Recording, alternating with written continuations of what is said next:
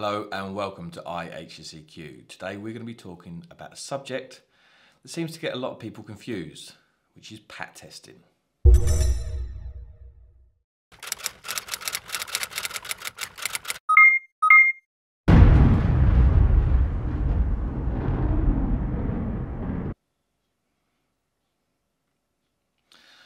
So to start with, it isn't PAT testing.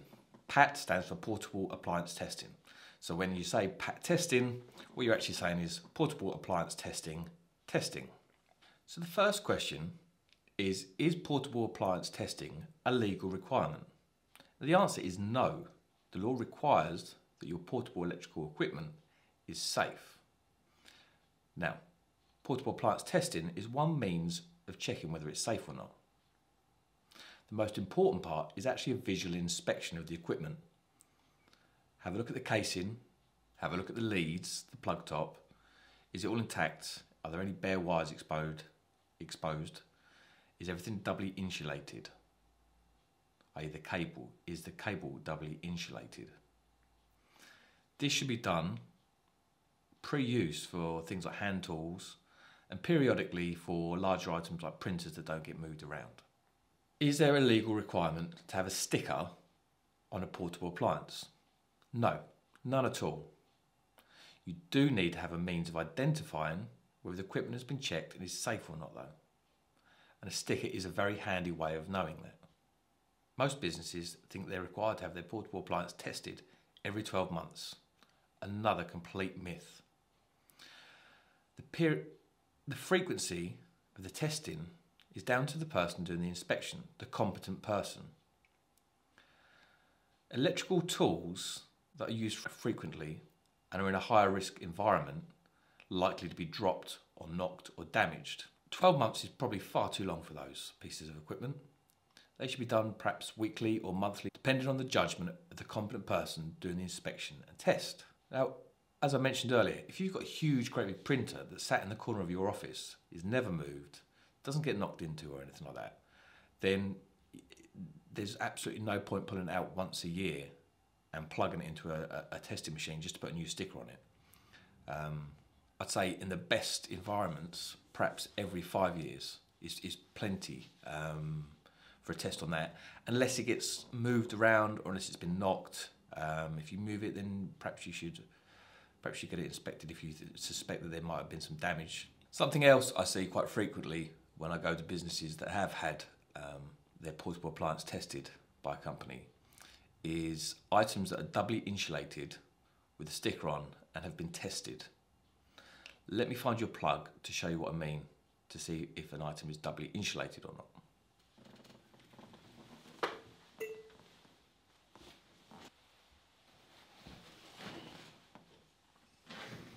Okay, let's see if I can get this to focus on there.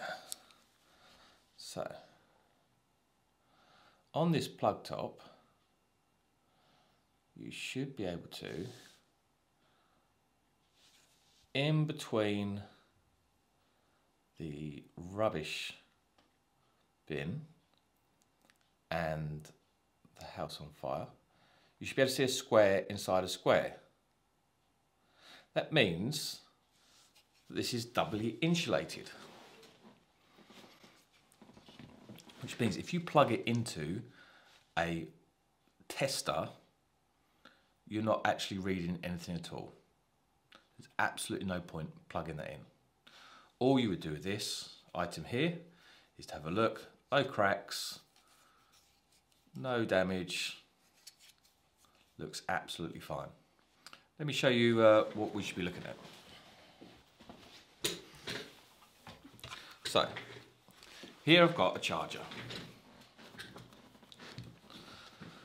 When you're inspecting a piece of electrical equipment, portable electrical equipment, what makes it portable?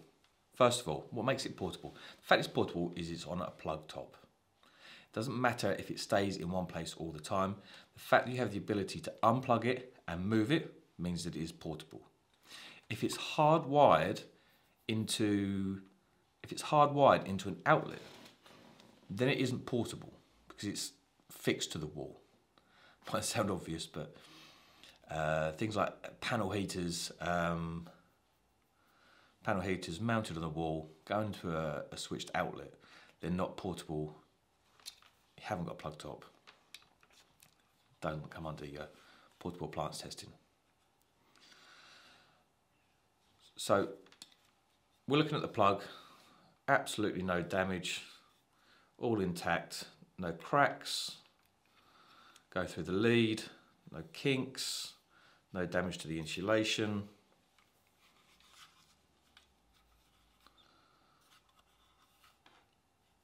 Again with the base here, absolutely fine. I'm just looking to see if this is doubly insulated or not. Here we go, again on this, we've got the square inside the square. If I take myself out of focus, can you see that? So that is all you would do for this piece of equipment. Just look at it, no damage, no cracks, no exposed wires. Absolutely no point plugging this into a machine and pressing test because you will not get a result. And there's absolutely no legal requirement to put a sticker on this to say that I've inspected it.